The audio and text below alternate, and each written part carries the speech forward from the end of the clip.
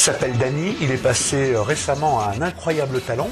Il a chanté euh, avec ses guitares, euh, il a fait un rap exactement, très émouvant pour l'un de ses copains partis, qui a été victime des attentats du Bataclan.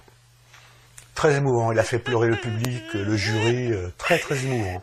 Sauf qu'on s'est aperçu quelques jours après qu'il avait tout inventé. Et lui euh, se défend en disant oui non mais c'était pas un copain, mais c'était une métaphore pour les parce que ça m'a, c'est-à-dire que, que vous comprenez parce que bon tout dépend. pas- Oui, enfin voilà.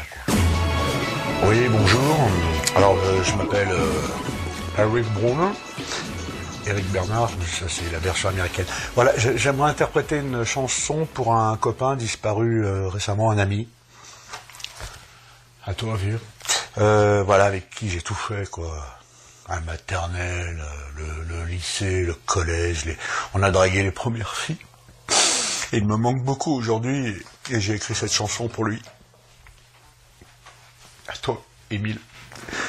Toi, mon ami, disparu dans les tranchées, en 14-18, je pense toujours à toi. Aujourd'hui, tu me manques énormément. Les Allemands t'ont tué, tu l'avais pas mérité, mais tu es quand même cané. Hein? Quel âge j'ai? Non, mais je suis beaucoup plus vieux que... Je l'ai connu, euh, il y a... Pff, on a eu... Hein? Non, si Non, je vous jure Ouh, cul, ouh.